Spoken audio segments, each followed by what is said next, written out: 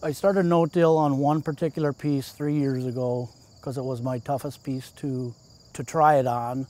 The other land I felt would be easier.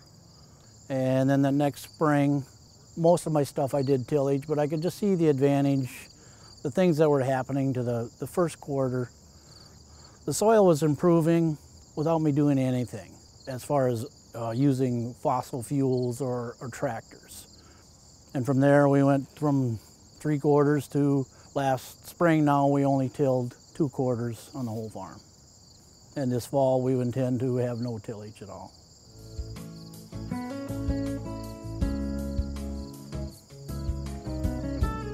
The land that we tried to is a Fargo Ryan soil type, which is 65% clay.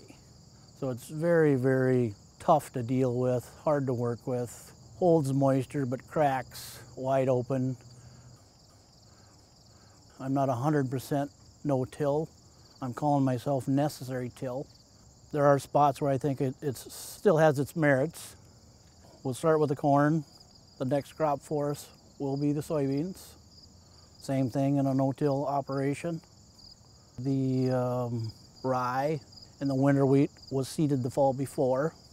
Those pretty much will just get a pesticide application. Fertilizer was done in the fall.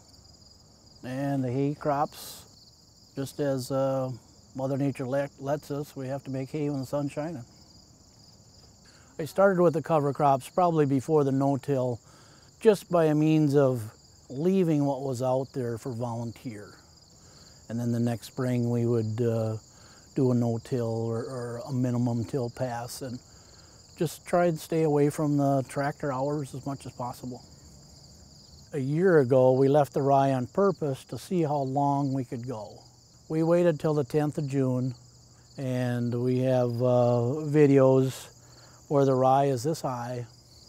If you leave that rye attached to the ground, do the no-till, you can seed right through it. But if you do some tillage pass, you'll have all these root balls that you need to do another tillage pass to get rid of the small root balls, and then you need another tillage pass to get them to the little root balls so you can handle them.